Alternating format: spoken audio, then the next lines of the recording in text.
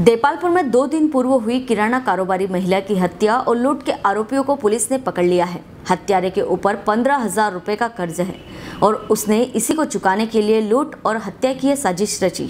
इस घटना में उसका दोस्त भी शामिल थे। आरोपियों ने घटना को अंजाम देने के बाद नगर के बाज़ार में खरीदारी भी की थी, लेकिन सीसीटीवी फुटेज में धरा गए हत्यारे।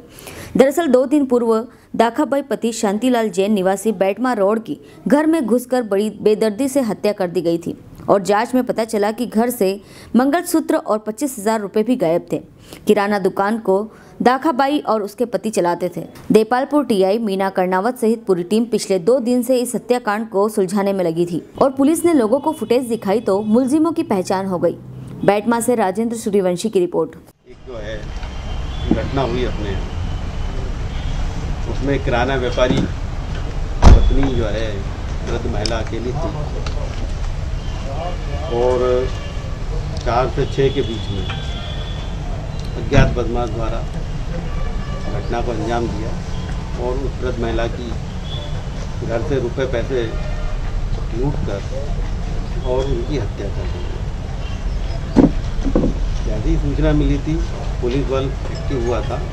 वरिष्ठ अधिकारी आई जी दर डी साहब, मैं और हमारी पूरी टीम एस डी पी साहब T I Nepalpur I Gautampura T I हाथोर सारा बल जो है, पता रखी में लग गया, क्योंकि मामला सन सनसनीखेज था। तो हम लोगों ने एक एसआईटी बनाई थी, जिसमें ये सारे अधिकारी लोग थे। थाने के बल और एसआईटी के सारे अधिकारियों ने मिल के लगातार मॉनिटरिंग करके सीसीटीवी से हमें एक छोटा सा एक पास वाले जो है, घटनास्थल के पास में सिर्फ़ दो दो पैर जाते हुए दिखे थे। उसको फिर हमने डेवलप और शहर के तमाम सारे सीसीटीवी हमने चेक हमारी टीम तीन दिन लगा रही, लगातार लगी रही। उसके साथ साथ हम लोग जो हमारे साइबर सेल है, उसकी भी मदद हम लोगों ने ली। और फिर अंततः एक, जो है बूट की दुकान पे वो उनके क्लियर फुटेज आए। फिर जो है, बाद में हम लोगों को नाम पता चले। दो आरोपियों को हमने अभी गिरफ़्तार किया गया है। और उनका हम पीआर ले रहे हैं और उनसे जो मसूका उन्होंने लूटा है, वो हम लोग बरामद करेंगे। हमारी ये पूरी क्रम में टीआई नेपालपुर का बड़ा सहयोग रहा है और इनकी जो टीम है, इनके जो अपने टीम के सदस्य हैं,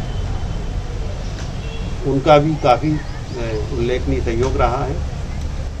संपूर्ण घटनाक्रम में S D O P Depalpur जिनके पास अभी चार्ज है, हमारे माले साहब हैं। टीआई हमारी मीना कर्णवाल है, देपालपुर जो है, और गौतमपुरा टीआई भारत सिंह ठाकुर हैं, और आपके राजू त्रिपाठी राठौर टीआई हैं। हरे सिंह यादव प्रधान आरक्षक निरीक्षक उप निरीक्षक है, प्रधान आरक्षक दिनेश वर्मा, आरक्षक राजपूत, आरक्षक गणेश, विनोद पाटीदार, तमाम सारे हमारे कर्मचारी तीन दिन लगे रहे। और उसकी परिणति ये है कि आज हम लोग उसको हल कर पाए। सर आरोपी आरोपी है वो पास में ही एक मैकेनिक की दुकान है गैरेज है उस पर कार्य करता था।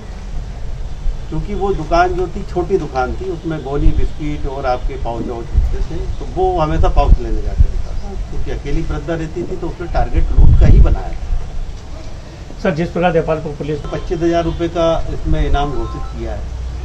तो वो तो हम देंगे। इसके अलावा अन्य इनाम भी हम लोग अपने कर्मचारियों को हेलो फ्रेंड्स आप देख रहे हैं हमारा channel S W twenty four news हमारे सारे वीडियो सबसे पहले देखने के लिए आप हमारे चैनल को सब्सक्राइब करें और पास में लगे बेल आइकोन को दबाना बिल्कुल भी ना भूलें।